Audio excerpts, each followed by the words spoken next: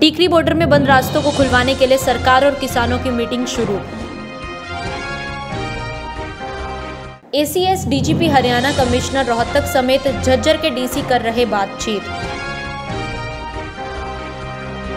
बहादुरगढ़ के उद्योगपति भी बैठक में शामिल। पिछले 11 महीने से किसान आंदोलन की वजह से देश की राजधानी दिल्ली की सीमाओं के रास्ते खुलवाने के लिए कवायद अब शुरू हो चुकी है। Delhi Rohtak national highway number नौ टीकरी बॉर्डर पर बंद रास्ते को खुलवाने के लिए हरियाणा सरकार द्वारा गठित हाई पावर कमेटी और किसान संगठनों के नेताओं के बीच बैठक हो रही है।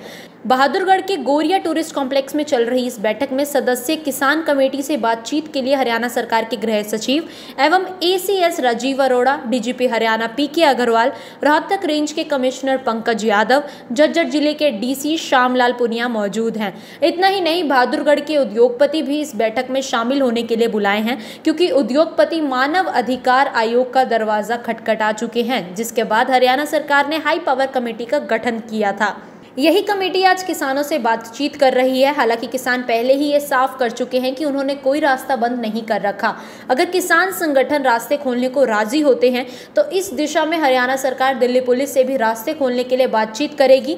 लेकिन किसान नेताओं का कहना है कि वो जंतर मंतर पर प्रदर्शन करने के लिए निकले थे। रास्ते में उन्हें रोकने के लिए पुलिस ने ही रास्ते बंद कर दिए हैं। जब किसान नेताओं से ये सवाल किया गया कि रास्ता खुलने पर भी दिल्ली वो जाएँगे या नहीं तो उन्होंने इस पर कहा कि इस संबंध में फैसला संयुक्त किसान मोर्चा लेगा। अगर संयुक्त किसान मोर्चा कहेगा कि रास्ता खुलते ही दिल्ली कूच किया जाए तो किसान ज़रूर दिल्ली जाएँगे। ऐसे में बातचीत में क्या कुछ निकलकर सामने आता है, ये देखने वाली बात होगी। आज मीटिंग में जो है हमारे होम सेक्रेटरी, स्टेट के राजीव अरोड़ा जी, डीजीपी साहब और बड़े सारे अधिकारी आ रहे हैं। बॉर्डर पे जो रास्ता हमारा बंद है, उसको उसके बारे में वार्ता करने के लिए इसमें अभी आ, मीटिंग शुरू होगी मालूम लगेगा पर अभी जो हमारी इंडस्ट्री की तरफ़ से हमारे सारे साथी और जो अधिकारी हैं उसमें है मेरे हिसाब से शायद उन किसान जो हैं उनको भी शायद इनवाइट किया हुआ है। क्या लगता है रास्ते खुलेंगे? उम्मीद तो है जी। आप आगे जिसके पास मीटिंग है उसके पास कर लेंगे। जो झंडा रखेंगे उसके